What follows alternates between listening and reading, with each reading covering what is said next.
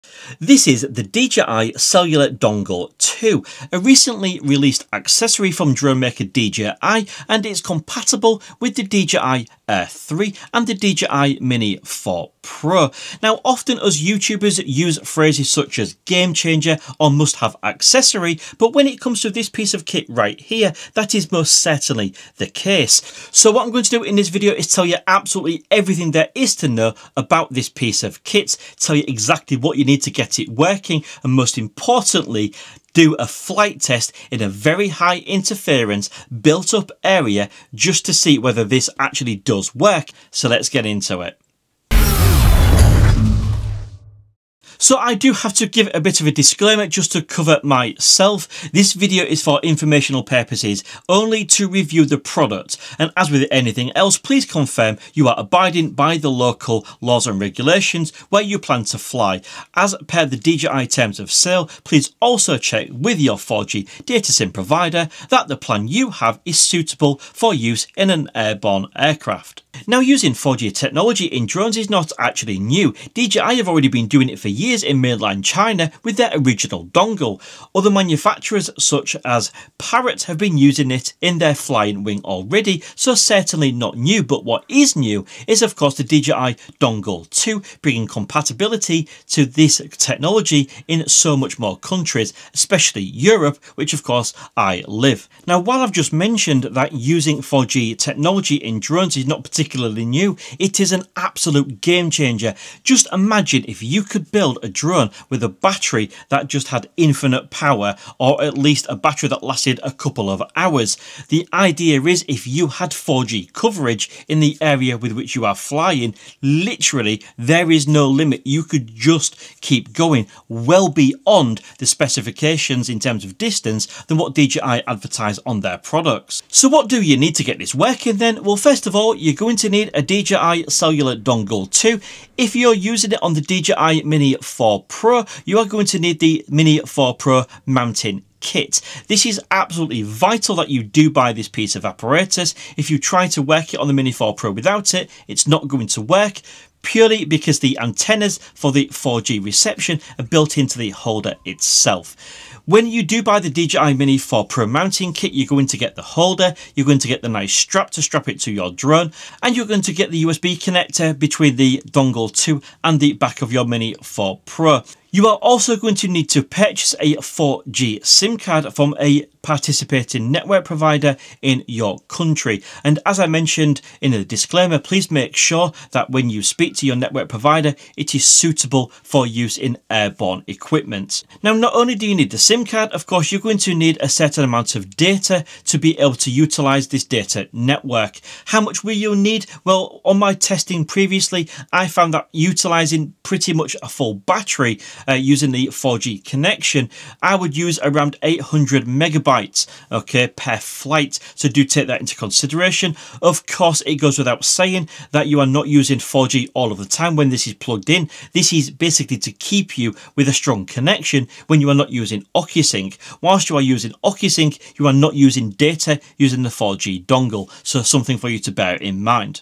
So all you need to do to fit it to the DJI mounting kit is just slide it in with the DJI facing upwards towards you and then mount the left and right antennas, strap it around the drone with this nice little hook and then of course just plug in the USB and you are good to go. It is now fitted to your drone. Now of course the DJI Cellular Dongle 2 with that data SIM card you have purchased from your network provider provides 4G connection to the actual dongle which is sitting in your drone. But what you also need is a 4G connection on your controller with which you are using to fly. Now if you are using a mobile phone with the DJI RC-N2 controller, the chances are you are going to have a cellular network connection already through your network provider that you are using to make your usual calls and texts. Now if you are flying with the DJI RC2, it's not so straightforward, but nothing too strenuous. All you do is tether it using a mobile hotspot to your mobile phone, whilst on location, for example. And then what the DJI RC2 does is it shares that 4G connection your mobile phone already has. Now, a third option is if you are flying from your home location or indeed a friend's or relative's house, what you can utilize is instead of having to tether it to your mobile phone, you can simply pair the DJI RC2 up to their home Wi-Fi router and utilize that network connection for your 4G connection, which works absolutely perfectly. When you buy the DJI Cellular Dongle 2, DJI do advise that you need an enhanced transmission service subscription. Now, the good news is the fact that you do get, when you buy the dongle, your first year completely free. At the end of that first year, if you want to continue using the enhanced transmission service, you do have to pay a yearly subscription, which you pay in a one-off payments. Here in the UK, that renewal price is £26. If you do have this accessory, you can see how much it is in your local currency by entering the DJI Fly app. Then where we go to renew, it will give you that renewal price right there. Now, I don't personally agree with this, but of course, this is what it is. So I'm providing this for informational purposes only, so you know what to expect should you buy one of these accessories. Now, just before I get into the flight with the DJI Mini 4 Pro, I have a couple of points for you to consider consider and think about. Of course, adding all this kit to the Mini 4 Pro, including the mounting kit and the dongle, it does push it over 249 grams. The actual weight with all this kit fitted, I measured at 292 grams. Now, of course, pushing it over 249 grams, contrary to popular belief, isn't illegal. Um, some people seem to think that it's over 249, you can't use it. That's not the case. In most countries, of course, subject to your local rules and regulations, it just means you need to fly it a little bit further away from people, that's all. But certainly, there are countries and there are uh, situations where you can take additional qualifications to fly in the same place. You can a sub 249 gram drone in a built up area with no intentional uh, overflying, providing it is still under 500 grams. And of course, this certainly is. Now I have to tell you that when I was flying my DJI Mini 4 Pro performing these tests, because of the added weight to the drone, I did notice it seemed to be a little bit more noisy.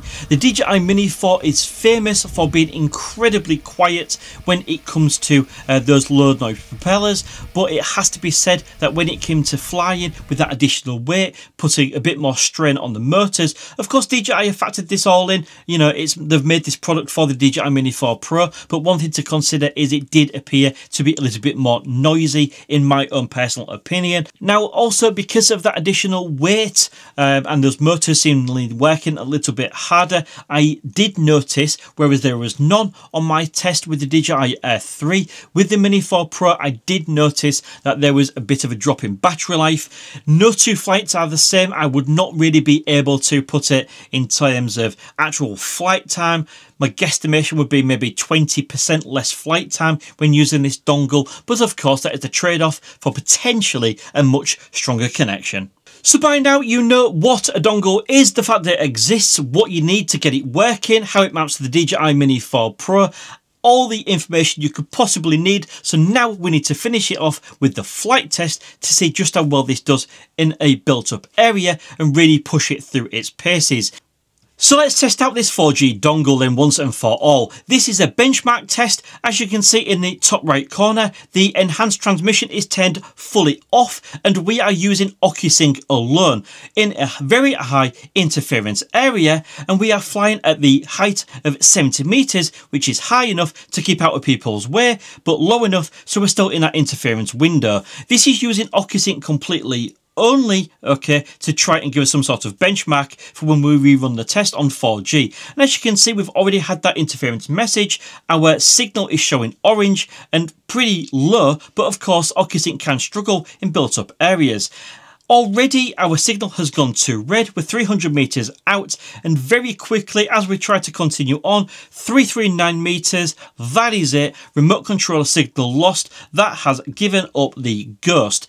Now a full return to home situation has kicked in and this is where I think we really need to pay attention because whilst return to home is an absolutely fantastic safety feature, the point I'm going to make is quite simply, whilst we are in a return to home situation, whilst we've got no control feed and whilst our feed is black or grey if you wish, just like this, we have got no control of our drone whatsoever.